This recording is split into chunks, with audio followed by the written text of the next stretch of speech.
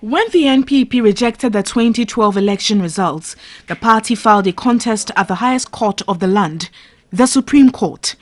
That, some political scientists believe, has deepened the country's democracy one way or the other. Two political scientists, Dr. Bossman Asare and Dr. Evans Aggrey-Darkoh, believe no matter the direction of the verdict by the Supreme Court, Ghana will be peaceful and Ghanaians will conduct themselves well. I think uh, the big picture is that it's going to be very peaceful. Whoever wins the verdict of the Supreme Court must understand that uh, we, we rise together as a country and we also fall together.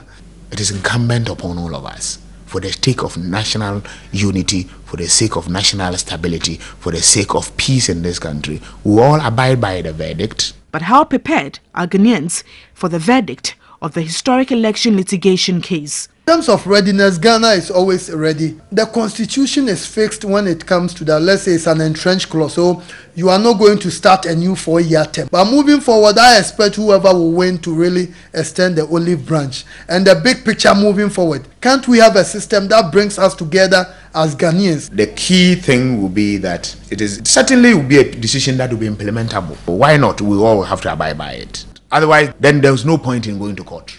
The two agreed politicians are failed Ghanaians and must be humbled by the advice of the Supreme Court.